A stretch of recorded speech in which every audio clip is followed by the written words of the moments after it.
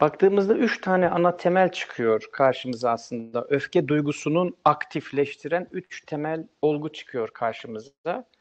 Bunlardan bir tanesi doyurulmamış istekler. Doyurulmamış duygular aslında bireyin öfkesine sebep oluyor. İkincisi istenmeyen sonuçlarla sonuçlandıysa olaylar bir takım e, e, olaylar, istenmeyen e, sonuçlar. Üçüncüsü de karşılanmayan beklentiler. Aslında öfke duygusunu hareketlendiren üç temel faktör.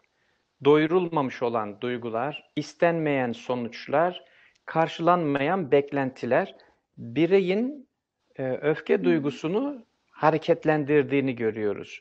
Ve bu hareketlendirme aslında bu üç e, temel olguyu edindirmek için, bu üç temel olguyu sağlamak için gerçekleşiyor. Yani doyurulmamış istek e, varsa ya da doyurulmamış bir duygu varsa onu doyurmaya çalışıyor birey öfkeyle. İstenmeyen bir sonuç çıkmışsa, istenmeyen bir sonuçla karşı karşıyaysa o istenmeyen sonucu bertaraf edip istenilir vaziyete getirmeye çalışmak.